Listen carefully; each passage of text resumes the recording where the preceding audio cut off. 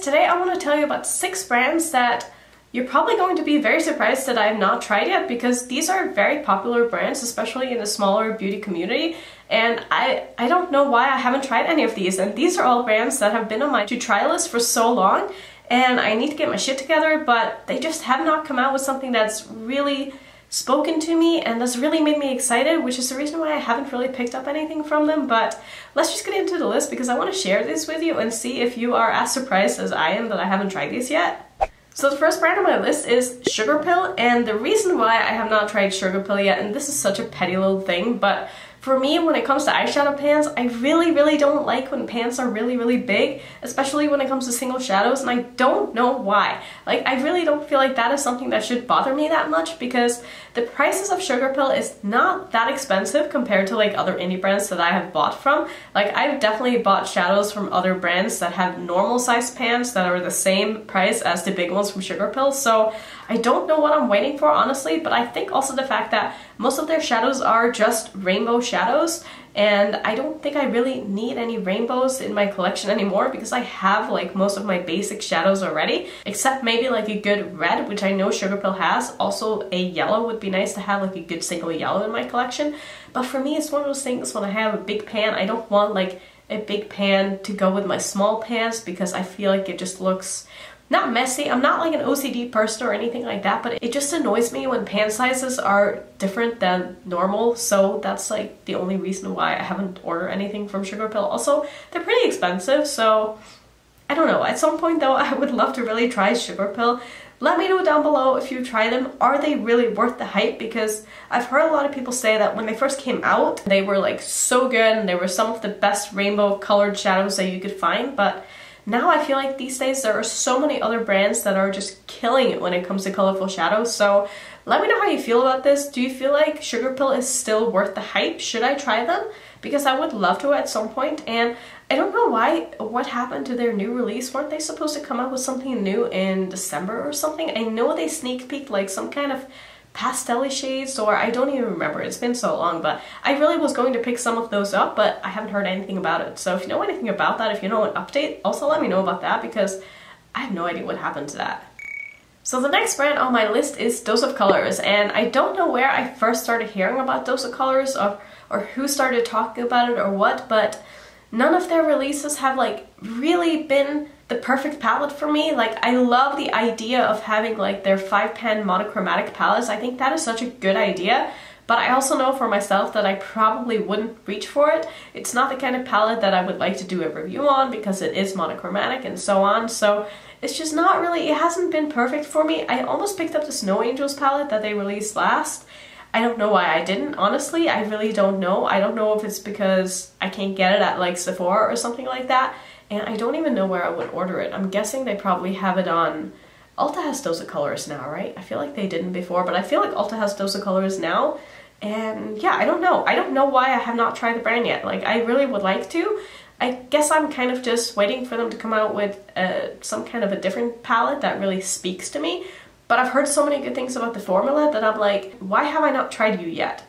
And whenever I'm like, I want to try something new, it's just never what I think of. I usually just go to some other kind of indie brand and I'm like, that looks interesting, that looks more up my alley, that looks more colorful, and so it just kind of goes down my list and it just sort of stays there with the other things that I want to try but I still haven't, so yeah, I don't know. Should I try Dose of Colors at one point? Does any of you have any bad experiences with Dose of Colors? I would love to know because if I can have an excuse to not buy all of these brands, that would be great. So thank you so much if you can like talk me out of any of these.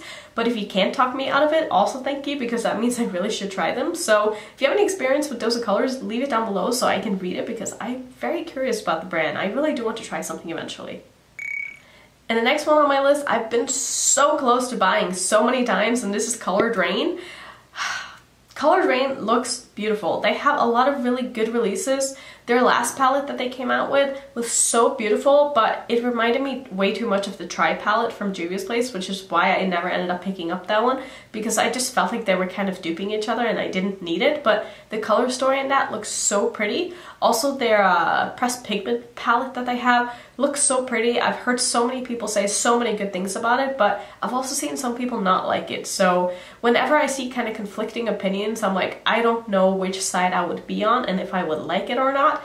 And I also think that because I kind of have this rule for myself when it comes to palettes that if I don't buy it on launch date, the train has kind of passed because I want to be able to, if I am going to review something, I want to be able to review it pretty quickly. And if I don't buy it as soon as it launches, I probably just don't want it badly enough, if that makes sense.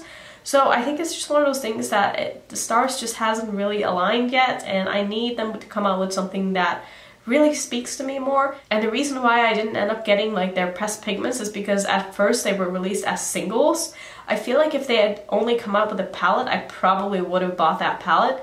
But also it's all mattes and so I don't really like all matte palettes and it's just one of those things that I haven't really found like the perfect thing from them yet that's really made me go, oh yes, that's finally my time to try out the brand, you know what I mean? I probably could have even put Linda Hallberg on this list, but I just ended up picking up her new palette. So that's another brand that I've kind of like had on my mind for so long and I've just been waiting for the perfect time to try out the brand and they finally released something that I wanted and so now I get to try it and this is how I feel about all of the brands on my list. I'm just waiting for that perfect time for them to come out with something that really speaks to me and something that I get really excited about that I want to review. So yeah, no, I have not yet tried Coloured Raine. I really would like to. The next brand is a brand that I see Butte Bean talk about all the time. She loves this brand and that is Ace Beauté or Ace Beauty or Ace Beauté. I really don't know how to pronounce that word, but I'll put it on the screen for you so you can see how it's written because maybe that tells you something more than it tells me. So they have a lot of really colorful palettes, a lot of beautiful palettes. I don't know why I haven't tried them. I feel like it was because they came out with the Vault last year, and I'm not really like a Vault kind of person. As I say that, I did order the Kaleidos Cosmetics Vault, and I also ordered the Pinky Rose Vault like last year, so I don't know why I'm saying that, but I feel like at the time when that Vault came out, I just had so many other things on my mind that I wanted to get that I kind of just like dismissed it and I didn't want to just get one of the palettes. So I, I don't know. I really do want to try the brand and they have a lot of really beautiful palettes out and I don't know why I don't get more attracted to them than I do because I feel like I should. I feel like it's the kind of brand that is very much my aesthetic. It's very much the kind of things that I like, but for some reason, I don't know if it's their packaging, I don't know if it's their square pans, I don't I don't know what it is about their palettes that just doesn't really grab my attention like a lot of other brands do. I really don't know. I, I don't know. I, I they are definitely on my list of things that I would like to try this year and I feel like we're still early in the year. I feel like I still have time, you know? Like I feel like at the end of the year I'm going to do a update on the video that I did last year of brands that I want to try in 2019. So hopefully by the time 2019 is over I will have tried Ace Beauté because they need to come out with something that I really want, you know? And I feel like they will. I have faith in them. I really feel like they're going to come out with something that I'm going to want to buy because I want to try their formula. I've heard it's so good. My second to last brand is going to be Lethal Cosmetics. I've heard nothing but good things about Lethal and what really pushed me over the edge was I was watching Theresa's Dead the other day and she was saying that her palette that she got from Lethal is like one of the best formulas that she's ever tried in her life and she did some swatches and I was just like like they look so beautiful, they looked so pretty, but again, like the color stories that they have come out with, I know they now have like a build your own kind of palette, but the color stories that I previously had in the palettes that they released were like half neutrals and I just don't want to spend that much money on a half neutral palette. Like I just, you guys know me, you guys know that's not really my jam. I am starting to kind of learn how to incorporate neutrals more into my colorful looks but again not make it more neutral than colorful. So it's like a balance that I'm trying to achieve to actually get some use out of the more neutral shades that I do have in my palettes because sometimes I feel bad that I don't even like touch them. Like I feel like I'm not getting my values worth by not using all of the shades in the palette. So I am trying to kind of throw a brown in there and you know just kind of play around with it but for the most part, like Lethal's palettes, the ones that I've come out with, have just not really been 100% for me yet, but it's the kind, it, the formula of the shadows just looks so creamy and easy to work with and buildable and blendable and pigmented and just everything that I would want in a shadow and I really think that I would like that formula. So at some point I'm just crossing my fingers that they are going to come out with something that I am going to really love. So fingers crossed for that because I feel like it might happen at some point but it also might not because Lethal is not like the most colorful brand out there for indie brands. So it's also a European brand, so it is a little bit more expensive for me to order than if it was something that was based in the States. So that's also something to keep in mind. You know, I don't want to spend a bunch of money on something that isn't really like 100% my cup of tea. So I'm just gonna wait. I'm gonna wait and see, see what they come out with, and hopefully at some point there's going to be something that just makes me go, yes, I need you, you know?